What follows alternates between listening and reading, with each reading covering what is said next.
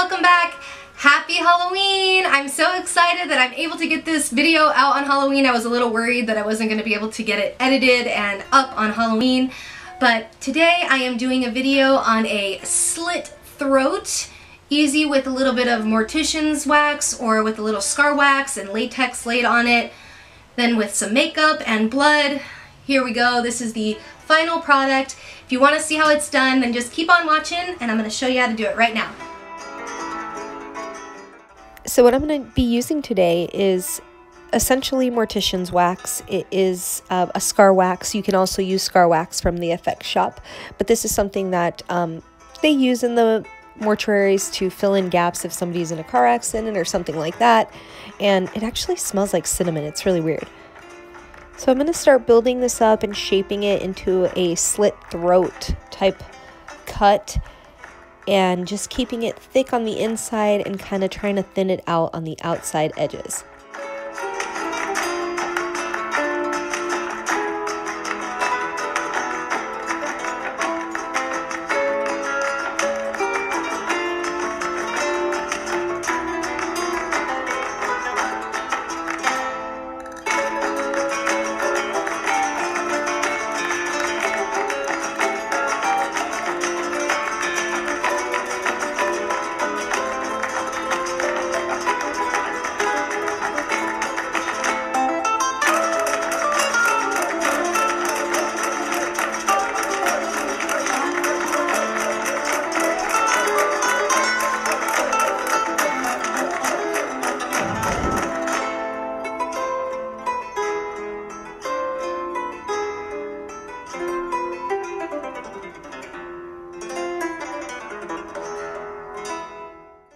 And as you can kind of see here, I'm trying to build it up on the inside of the slit just so that it looks like skin is kind of lifting up and then smoothing it out on the outside edge.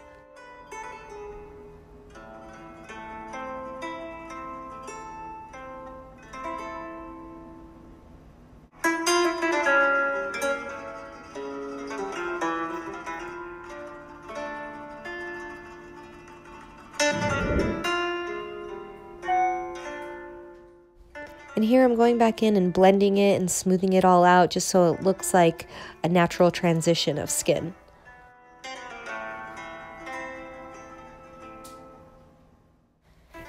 And once I feel like I have the wax edges nice and smooth, I'm going to go in with my liquid latex and kind of seal everything up.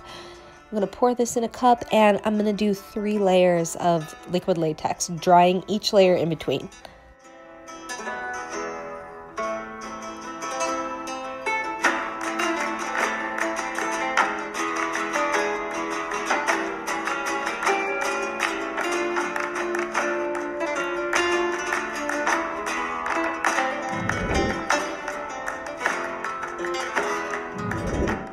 And here I'm going in with my second layer of latex. I didn't want to bore you with the third layer, but I did do a third layer.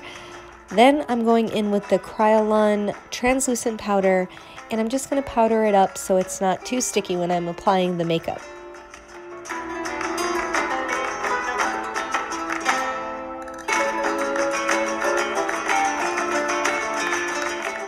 Here I'm going in with a bright red cream, and I'm just going to put this as a base color for that cut.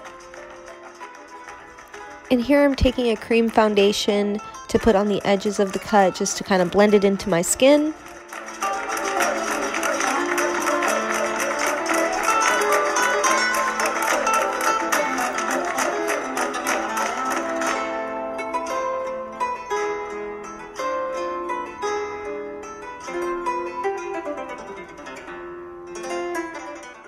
And here I'm going in with this deep blood red color and I'm going to deepen up the slit just to kind of give it some depth.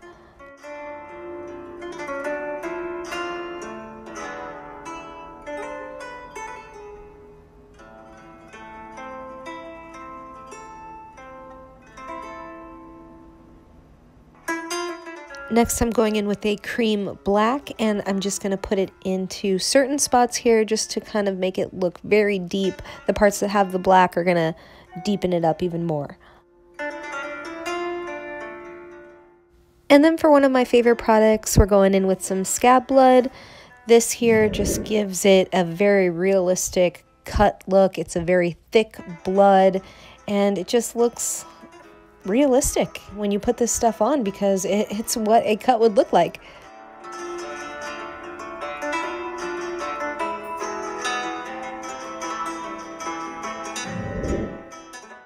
Then I'm just going to finish it off with tapping my finger and kind of blending it out just to give it that look.